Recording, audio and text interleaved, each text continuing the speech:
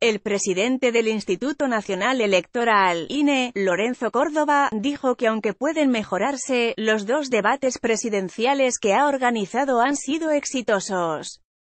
El debate fue exitoso, el INE pone la mesa, el INE pone el formato, los contenidos los ponen los contendientes y a la sociedad le toca juzgarlos, afirmó, en entrevista luego de participar en un seminario sobre el proceso electoral. Lorenzo Córdoba lamentó el asesinato de un capacitador del INE que trabajaba en Guerrero.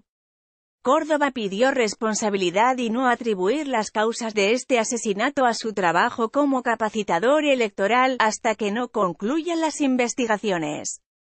No voy a especular sobre si este deceso lamentable tiene que ver o no con cuestiones electorales y creo que en este momento nadie tiene elementos para plantearlo, y yo apelo a la responsabilidad de todos para no confundir una lamentable situación de violencia que aqueja al país y que es condenable per se y que no es responsabilidad de la autoridad electoral con el desarrollo del proceso electoral mismo.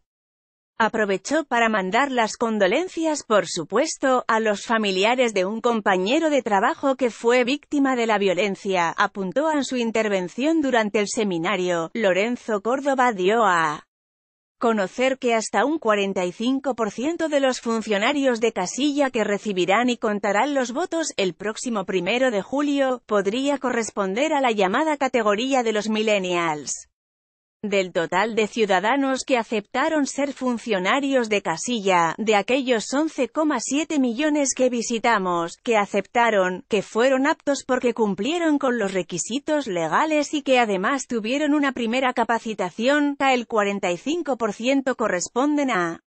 la categoría de los millennials, detalló, Lorenzo Córdoba dijo que de las 157.000 casillas que el INE prevé instalar el próximo primero de julio, solo 10, en diversas entidades del país presentan algún inconveniente para su instalación.